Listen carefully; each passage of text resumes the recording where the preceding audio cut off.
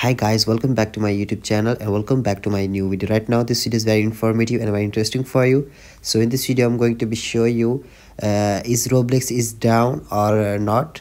Uh, today uh, you will face the error. Roblox is it down? Roblox can't join the game and the roblox can't join the game roblox error 400 so you will face this type of uh, errors on, on roblox. So here i'm going to tell you uh, your roblox is down or not. So if your roblox is down then what you have to do i am i am going to i will going to tell you uh, the four or five steps and uh, i will tell you this step in mobile but you you can easily follow this step on your laptop and on your pc and on your website. So please follow me uh, so here and if you're new in my channel then please don't forget to subscribe my youtube channel and hit the bell icon for my new videos. So without wasting any time let's get started the video.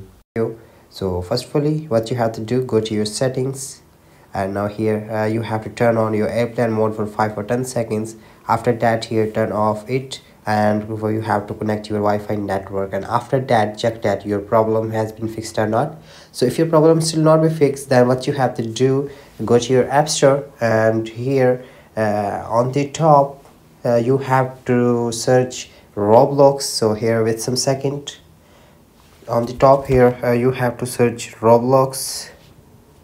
And then here tap on roblox and here if your update is required so you have to update your roblox app. And after that check that your problem has been fixed or not. So if your problem still not be fixed then what you have to do? So go to your settings. Okay now scroll it down tap on general. Uh, sorry here scroll it down. Tap on safari. Scroll it down. And here simply uh, what you have to do tap on clear history and website data. And now here uh, tap on clear history. Uh, tap on all. And now here tap on clear history. And thereafter check that your problem has been fixed or not. After clear the search history and and then after go back to the home screen and check that your problem has been fixed or not.